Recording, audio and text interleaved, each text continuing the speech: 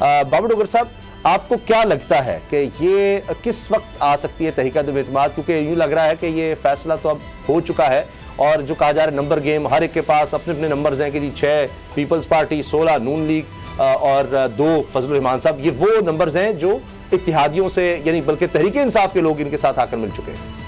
समा साहब, लाहौर में बड़ी हैक्टिक एक्टिविटी चल रही है। आज देखें कि आसिफ अली जरदारी, शहबाज शरीफ और मौलाना फजलरहमान पहले मिले। उसके बाद मौलाना फजलरहमान जो हैं, वो चौधरी पीरलाई से मिले। चौधरी पीरलाई आज शाम को आसिफ अली जरदारी के साथ मिल रहे हैं और चीज़ें बड़ी तेज़ी बड़ी तेज़ी से आगे चल रही हैं। बड़ी तेज़ी से डेवलपमेंट्स हो रही हैं। इशूज़ थे पी एम एल एन ये चाहती थी कि जो मरकज़ है वहाँ पर इतमाद अदम इतमाद का वोट सबसे पहले वहाँ पर लेके आया जाए।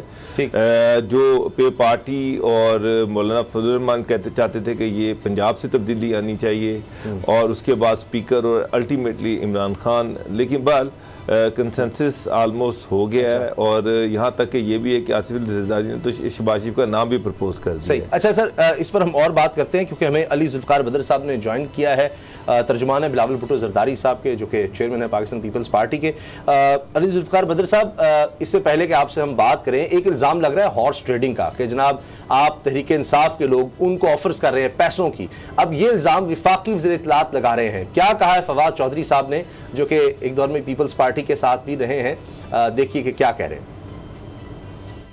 जुल्फ़ार बदर साहब आप पर जनाब 24 घंटों का चैलेंज भी आ गया आप पर जाम आ गया आप ख़रीद भी रहे हैं खरीद भी रहे हैं लोगों को ये क्या हो रहा है? बिस्मिल्लाहिर्रहमानिर्रहीम। उसामा ये जो फवाद चौधरी साहब ने बात की है ना ये एक जज्बाती बात है सियासत में जज्बात नहीं होते। हम्म। सियासत एक बड़ा सोच समझ के बुरदबारी का ये मामला है। और इसमें आपने बड़ा सोच समझ के आगे चलना होता है और बड़ी एहतियात से फूक फूक के कदम लेना होता है। ये जो फवाद चौधरी साहब 24 घंटे का चैलेंज दे रहे हैं ये मेरा ख्याल से ये वो कहते हैं ना कि ऐसे दोस्त हों तो दुश्मनों की ज़रूरत नहीं। ये इमरान खान साहब को ऐसे दोस्त मिले हुए हैं जो कहते हैं कि तरीके में इतमाद आए और इमरान खान साहब से जान छूटे। जैसे फवाद चौधरी साहब ने पहले कई पार्टियाँ बदली हैं अब वो आगे भी चाहते हैं कि इमरान खान साहब से जान छूटे और आगे जाएँ। तो वो कोई ऐसी सियासी उनकी गुफ्तु नहीं है कि जी चैलेंज करता हूँ। इसमें चैलेंज नहीं होता ये जो अपोजिशन ने अपने नंबर्स पूरे करने हैं अपना बड़ा सोच समझ के और बड़े स्मार्टली बड़े अच्छे तरीके से अपोजिशन की तमाम जमातों की लीडरशिप बुर्दबारी से फैसले कर रही है और उन्होंने जो अपने कार्ड्स हैं वो सीने के साथ लगाए हुए हैं और वो बिल्कुल एहतियात के साथ एहतियात के साथ आगे चल रहे हैं। अली साहब शो कब होंगे? लग ये रहा है कि जी अदम एतमाद तो आनी आनी है तहरीक तो लानी है।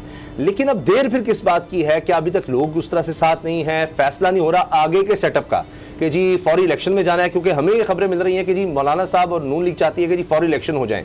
चाहे शहबाज शरीफ साहब वजी बने वक्ती तौर पर लेकिन फिर फौरी इलेक्शन।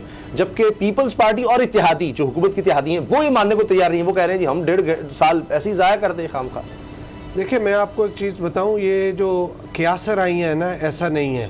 अच्छा। ये पाकिस्तान पीपल्स पार्टी और पीडीएम की सारी जमातों के साथ एक बहुत अच्छे तरीके से एक सीबीएम कॉन्फिडेंस बिल्डिंग मैयत के ऊपर काम हो रहा है। वो बड़ी ये मेच्योर लीडरशिप है सारी। ये अपना बड़ा सोच समझ के आ, कदम उठा रही हैं फूक फूक के चल रही हैं। और वो इसलिए थोड़ा सा टाइम ले रहे हैं क्योंकि वो नहीं चाहते कि हम आगे चलें। तेज़ी के साथ आगे चलें और फिर आगे जाके कोई प्रॉब्लम हो। तो वो अभी सारे मामला को डिस्कस कर रहे हैं और उनका जो मेन टारगेट है सबसे पहला जो कदम है वो है कौमी असम्बली के अंदर इमरान खान साहब को घर भेजना। अच्छा। तो उसके ऊपर काम हो रहा है उसके बाद फिर जब एक दफ़ा इमरान खान साहब को घर भेज देंगे तो ये लीडरशिप के अंदर अंडरस्टैंडिंग डेवलप हो रही है। कि हम उसके साथ साथ बाकी चीज़ों के ऊपर भी मुश्तरका लाएमल बना के और अच्छा। जो चीज़ भी होगी उसको हम एक दूसरे को सपोर्ट करेंगे अच्छा, सब जरदारी साहब पर डाल दिया गया मेन लीड इस वक्त तो ये बताएँ कि कोई डेट फाइनल है कोई जहन में कब तक? मार्च का पहला हफ़्ता है या अभी मार्च से पहले पहले ही तरीके अदमतमाद आ सकती है? ये तो आपने कंफर्म कर दिया कि इमरान खान साहब के खिलाफ सबसे पहले जाएगा क्योंकि अभी तक ये खबरें हैं कि शायद पंजाब में स्पीकर कौमी असम्बली या पंजाब में वजी अला इस तरह की बातें हैं। लेकिन आप कह रहे हैं कि इमरान खान पहला टारगेट होंगे, लेकिन कब? डेट कोई फाइनल है कुछ जहन में कि जी, या कम अज कम ये कि इससे पहले पहले आ जानी चाहिए। देखिए, सियासत के अंदर कोई चीज़ हरफ आखिर नहीं होती। ये डेट आप इसलिए हतमी डेट नहीं दे सकते, क्योंकि अपोजिशन की जितनी जमातें बैठ रही हैं, उन्होंने अपने नंबर्स पूरे करने हैं, उन्होंने अपना होमवर्क कंप्लीट करना है। ये जो जज्बात के साथ अगर चलेंगे ना कि बहुत जल्दी हेस्ट इज़ वेस्ट तो उन्होंने बड़ी एहतियात के साथ चलना है और उन्होंने कामयाबी हासिल करनी है। महीनों भी कामयाबी महीनों भी महीनों की बात नहीं है चंद दिनों की बात है। चंद दिनों। ये ठीक है। किसी टाइम पे भी हो सकता है। जी गुलाम से पाकिस्तान पीपल्स पार्टी की एफर्ट्स अभी हैं काफ़ी ज़्यादा सबक सदर जनाब असफ अली जरदारी हर जगह जा रहे हैं मुलाकातें भी कर रहे हैं। तो क्या आ, पाकिस्तान पीपल्स पार्टी मरकज़ में कोई आ, उन्हें किरदार मिल रहा है ऐसी कोई बात है जिस तरह से अभी आ, कुछ लोग चला रहे हैं कि आसफ अली जरदारी साहब ने शहबाज शरीफ का नाम प्रपोज़ किया है। तो क्या पाकिस्तान पीपल्स पार्टी को कोई हिस्सा मिलेगा या आप सिर्फ़ साथ देंगे और मैनेज करके देंगे? देखें ये चीज़ बड़ी क्लियर है क्योंकि कौमी असम्बली के अगर अंदर नंबर देखा जाए तो पाकिस्तान मुस्लिम लीग का नंबर ज़्यादा है। और पहला राइट उन्हीं का बनता है। तो बिलावल साहब ने भी और जरदारी साहब ने भी कहा है कि जब हम अपोजिशन के, ये इमरान खान साहब के ख़िलाफ़ तरीके में अतमाद कामयाब कराएँगे तो हम शबाज शरीफ साहब को अपना प्राइम मिनिस्टर बनाएँगे। और इसके अंदर जितनी भी सपोर्ट है, ये बगैर किसी लालच के है और जो भी चीज़ है मुश्तर एक दूसरे को सपोर्ट करके पाकिस्तान इतनी मुश्किल से गुजरा है। इस मुश्किल हालात से निकालने के लिए ये है क्योंकि इस हुकूमत से हालात कंट्रोल नहीं हो पा रहे। तो लिहाजा जब सारी लीडरशिप बैठ के इस सारी चीज़ को चलाएगी तो कोई ना कोई बेहतर लाए अमल बनेगा और बेहतर हमत अमली होगी। अच्छा अब अली जुल्फ़ार बदर साहब ने तो ज़ाहिर है कि अपनी पार्टी का मौक़ देना है या पी डी एम में जो कुछ हो रहा है वो ये बता सकते हैं। लेकिन बाबर साहब ये जो नंबर्स की आ रही है बात कि पीपल्स पार्टी के पास छः या नून लीग सोलह और जे यू आई दो क्या वाकई इतने लोगों की हिमायत का इनके पास आ गया आप, आपके पास क्या खबरें हैं इस हवाले से कि ये लोग आ गए इतने हुकूमती लोग इनके पास? समझ साहब ये जो नंबर दिया जा रहा है सोलह छः और दो ये पंजाब के हवाले से नंबर दिया जा रहा है। अच्छा। फेडरल गवर्नमेंट जो है वफाक जो है वहाँ पर जो मेरी इतलात हैं वहाँ पर जब तक इतिहादी नहीं टूटेंगे उस वक्त तक चीज़ें जो है वो आगे नहीं बढ़ेंगी। इतिहादियों में पे पार्टी मौलाना फजलरहमान आज सारे जो हैं वो काफ़ी के साथ मिले हैं। पाँच सीटें उनकी हैं पाँच सीटें जो हैं एम के एम की हैं हम्म। उसके बाद बारह सीटें जो हैं वो बाप पार्टी की हैं।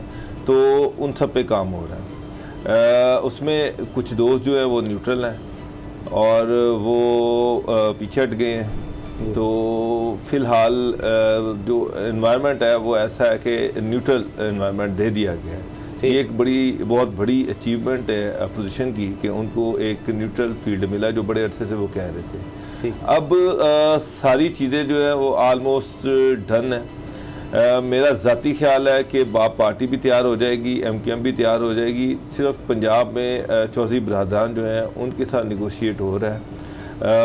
वो निगोशिएशन ये है कि नून लीग जो है वो पंजाब किसी सूरत में अपने हाथ से बाहर नहीं जाना चाहती। अच्छा। वो तो इवन यहाँ तक चाहते हैं कि मरकज़ में पार्टी आ जाए लेकिन पंजाब हमें दे दिया जाए। अच्छा। लेकिन पंजाब में जब तक चौधरी साथ ज्वाइन नहीं करते हम्म।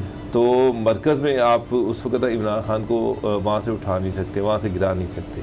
अच्छा। तो उसके लिए जो असल एफर्ट हो रही है वो ये हो रही है कि नून लीग को मनाया जा रहा है।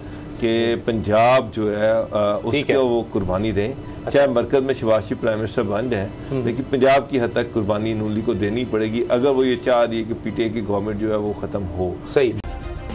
सब्सक्राइब करें और बेल दबाएँ ताकि कोई खबर रह न जाए।